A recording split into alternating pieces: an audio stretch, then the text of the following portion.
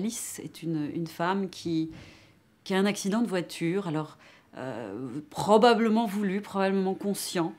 une manière pour elle d'échapper à une, un présent qui l'accable, qu'elle qu'elle a finalement en horreur,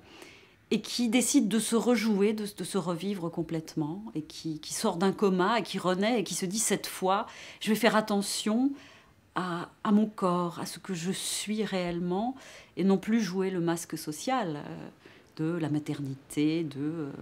euh, le fait d'être la femme, l'épouse de quelqu'un, le fait d'avoir un travail, tout ça c'est ce qu'on appelle la persona, le masque, le masque social, le masque de théâtre. Et donc euh, ce,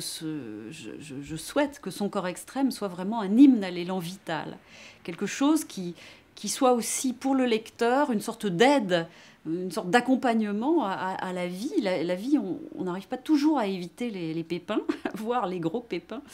Et euh, j'ai assez, euh, enfin moi-même en, tant que, en tant que lectrice,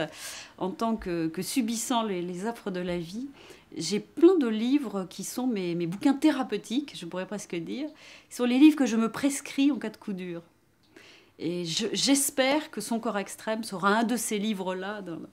pour mes lecteurs, c'est-à-dire un, livre qui porte vers une espèce de vitalité qui, fait retrouver la niaque, quoi, une espèce de, de hargne de s'en sortir, de, se battre, puisque Alice, dans, son corps extrême, Alice va réapprendre à marcher littéralement. Donc, vous voyez, ce côté de l'enfance qui revient, mais ce côté où on, lutte, euh, adulte cette fois, contre le déséquilibre. Je crois qu'on est euh, menacé, enfin déséquilibre à tous les sens du terme. Hein. Je parle aussi donc d'un déséquilibre psychique qui, est là, qui, qui, advient, contre lequel